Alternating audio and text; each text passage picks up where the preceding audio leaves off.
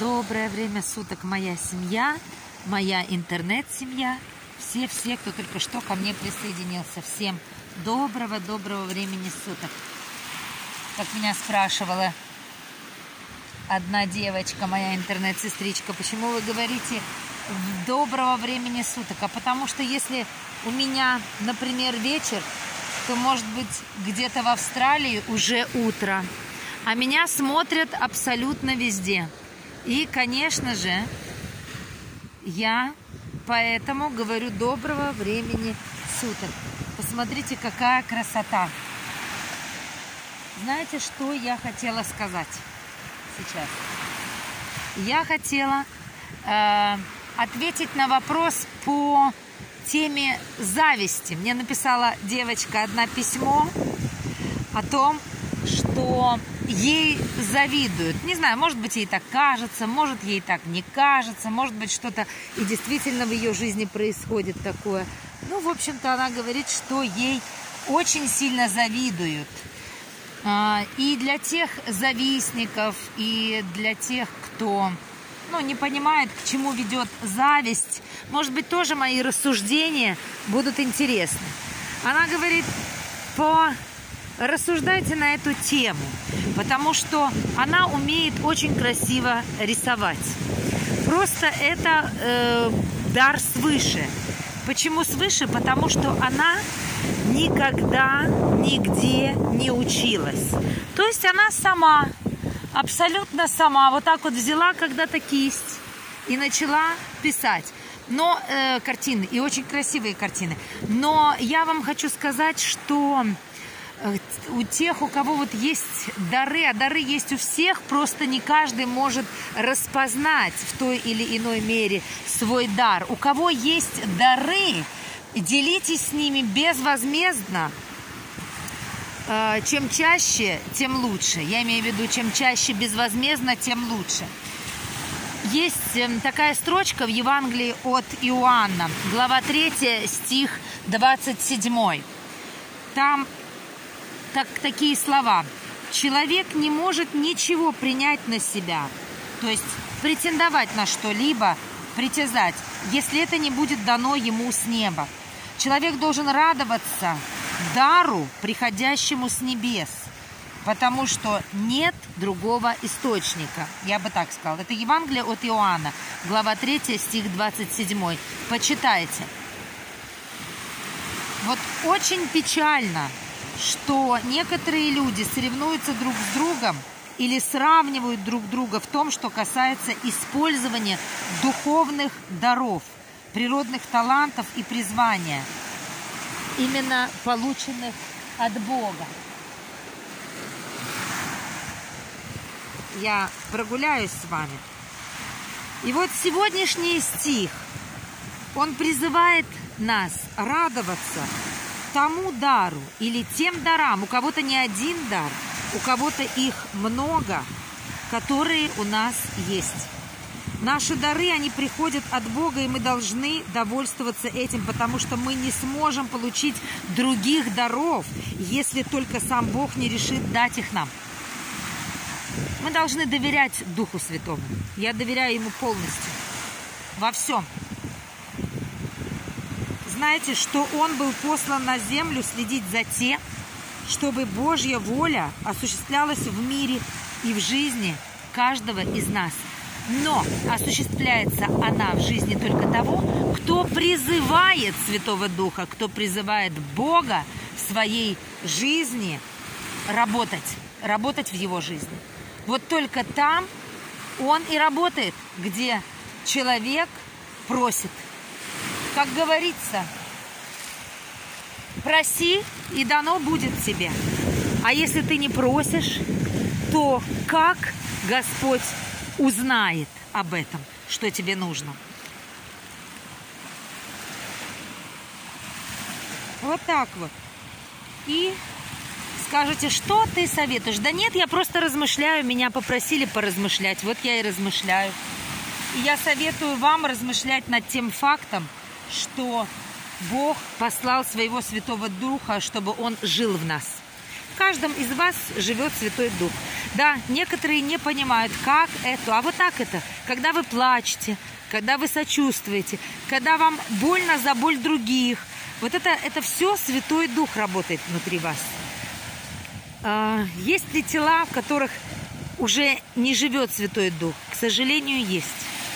Я их называю живые мертвецы. Но можно ли туда опять насадить Святого Духа? Конечно, можно.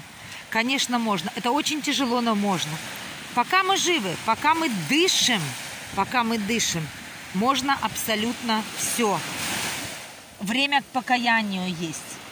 Вы знаете, Святой Дух, Он обитает в сердце каждого человека, принявшего Иисуса Христа как своего Спасителя и Господа. Хотите верьте, хотите нет. В моей жизни столько всего произошло за последние 9 лет. Вы можете пронаблюдать пронаблюдать, что происходит. Это почему я сказала 9 лет, потому что я веду съемки с этого момента. А до того, сколько чудес было, которые я еще когда не имела камеры и таких чудесных телефонов, которые сейчас есть, чтобы показывать свою жизнь, чтобы рассказывать о том, что происходит, как каждый день все меняется, как Господь Бог, мой Спаситель, спасает меня, как Он меня правильно направляет и ведет. Вы знаете, Дух Святой, зачем Он нужен? Послан, чтобы беречь нас до дня искупления. Будет такой день, будет для каждого будет. Дух Святой говорит с нами и ведет нас к полноте всего, что дал нам Иисус через свою смерть на Голгофе.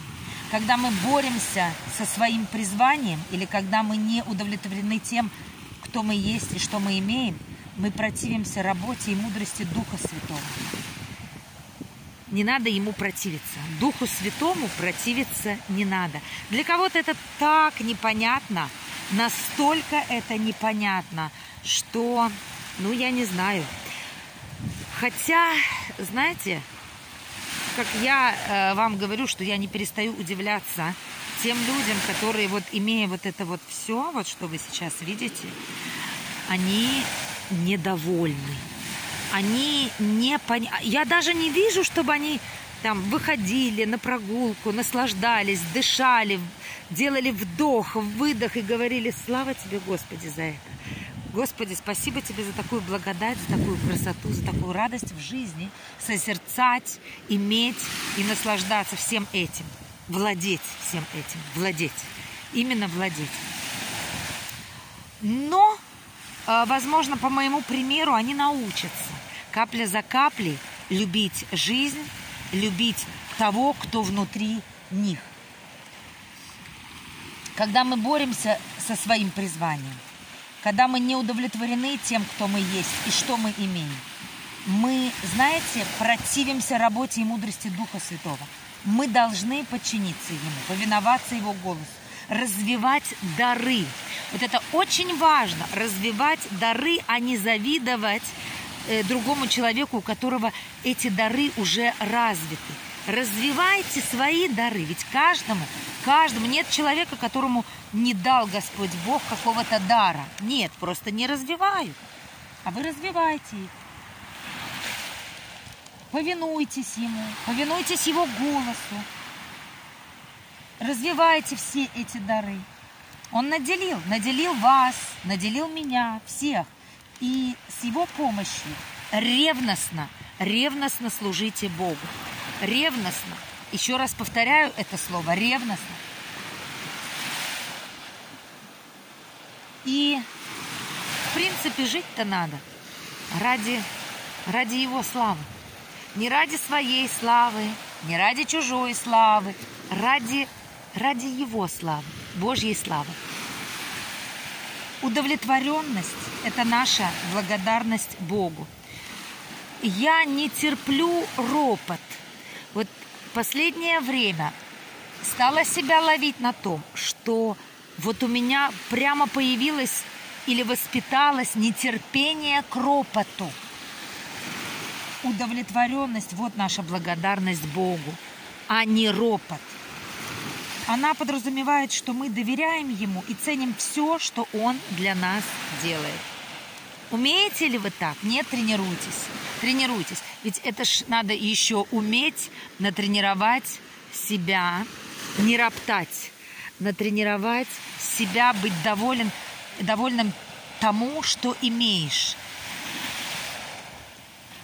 Когда-то давно я себя научила радоваться тому, что я имею, наслаждаться, вкушать, потому что вдруг завтра уже не проснусь. Все. А сегодня, сегодня не успею поблагодарить Бога вот за вот это вот. За вот это вот все. Давайте пройдем, посмотрим на эту всю красоту, на все эти богатства, которые Господь Бог дал, за этот шум, плеск, воздух. Вы не представляете, какой воздух. Смотрите, сегодня море такое спокойное. Буквально вчера еще было прохладно. Я не знаю, какой-то ветер был непонятный. И все такое прочее. Какие-то тучи были. И посмотрите, что мы видим сейчас. Тучи куда-то далеко-далеко ушли. Надо мной просто-просто голубое, сине-голубое небо. И вот они рапанчики. И вот такая вот такая вот красота. Кстати, мы... Я на велопрогулке. Там далеко-далеко мой велосипед. И супруг мой где-то катается. А я говорю, пойду-ка я прогуляюсь немножко. И выскажу свои мысли вслух по поводу того, что меня спросили. Меня спросили, я ответила. Вот посмотрите мидии. Сегодня море тоже очень теплое, кстати несмотря на то, что сентябрь-то уже практически заканчивается. А я люблю вас. Пока-пока.